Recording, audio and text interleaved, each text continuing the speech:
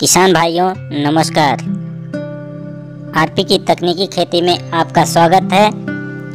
आज हम बात करने वाले हैं आलू में लगने वाले प्रमुख रोगों के बारे में, कि रोग कैसे कैसे लगते हैं, रोग कब लगते हैं, उसके लिए क्या उपचार हैं, आज इसी सब के बारे में चर्चा करने वाले। की फ़सल, अभी आप देख रहे होंगे कि जिस तरह से पिछले दिनों में कुछ बारिश हुई है और मौसम चेंज हुआ है, इसकी वजह से आलू में बीमारी शुरू हो जाएगी, जो कि पछेती झुलसा एक नाम से आप लोग जानते हैं। ये जो बीमारी है फाइटोफितेरा इन्फेस्टेंस एक कवक होता है, उसकी वजह से होती है। इसमें देखा गया है कि जब 14 से 15 डिग्री टेम्परेचर होता है और 90 परसेंट आर्द्रता होती है तो इसमें ये बीमारी आने शुरू हो जाती है। इसके शुरुआती लक्षण किसान भाइयों को इस तरह से देखे जाएँगे। आप जब खेत में जाओगे अपने पत्ती की निचली सतह पे, एक छोटा सा सूखापन दिखाई देगा और उसकी चारों तरफ़ रुई जैसे, पाउडर जैसा जमा हुआ दिखाई दे। और जब ये तेज़ी से आता है तो ये तने तक पूरा फैल जाता है और उसके बाद नीचे जो कंद लगे होते हैं आलू में, उसको भी ये प्रभावित कर खेतों में बीमारी के लक्षण नहीं दिखाई दे रहा है तो उसमें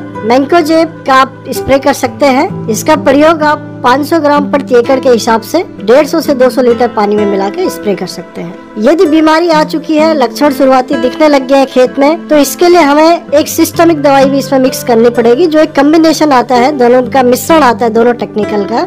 वो है साइमेक्सनिल प्लस मैंकोजे सौ ग्राम प्रति एकड़ के हिसाब से 150 से 200 लीटर पानी में मिला के हमें स्प्रे कर लेना चाहिए। इसका चार ग्राम प्रति लीटर पानी के हिसाब से हम स्प्रे कर सकते हैं।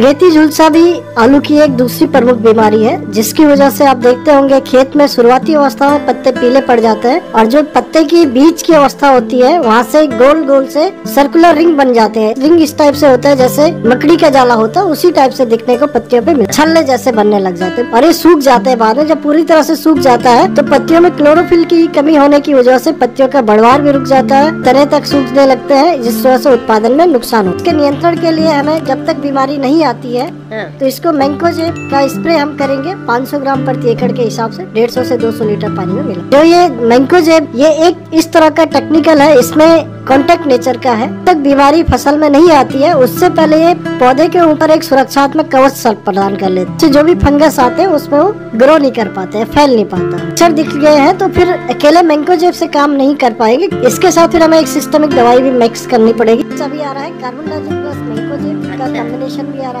या कॉपर ऑक्सीक्लोराइड का भी प्रयोग कर सकते हैं। प्लस मैंकोजेब 500 ग्राम प्रति एकड़ के हिसाब से हम प्रयोग करें, वही 150 से 200 लीटर पानी में, और कॉपर ऑक्सीक्लोराइड का भी 500 ग्राम प्रति एकड़ के हिसाब से हम प्रयोग कर सकते हैं। उन किसान भाइयों ने, अगर हम जो फफूंदासी की बात कर रहे हैं मैंकोजेब की, अगर 10 से 12 दिन के अंतराल पे इसका रिपीट स्प्रे हम करते रहे तो हमारे खेत में कोई भी तरह की बीमारी शुरुआती में नहीं आ पाएगी। लेकिन फिर भी मौसम यदि बहुत ज़्यादा चेंज होता है तो इसको हमें प्रिकॉशनरी मतलब कभी भी फफूंदासी का हम प्रयोग कर सकते हैं।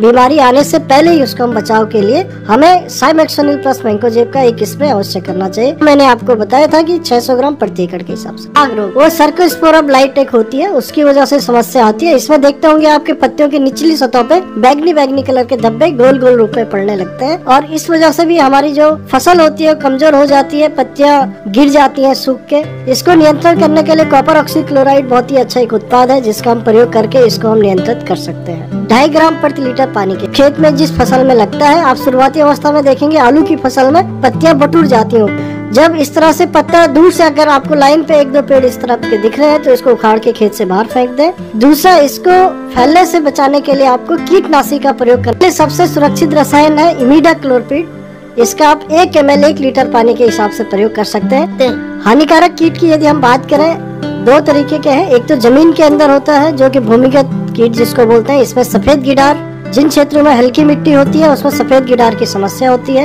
एक ट्यूबर मौत आता है जिसमें आप देखते होंगे जब हम स्टोरेज करने जाते हैं तो आलू के अंदर वो छेद करके पूरा आलू सड़ के खराब होने दीमक की भी कुछ क्षेत्रों में समस्या आती है।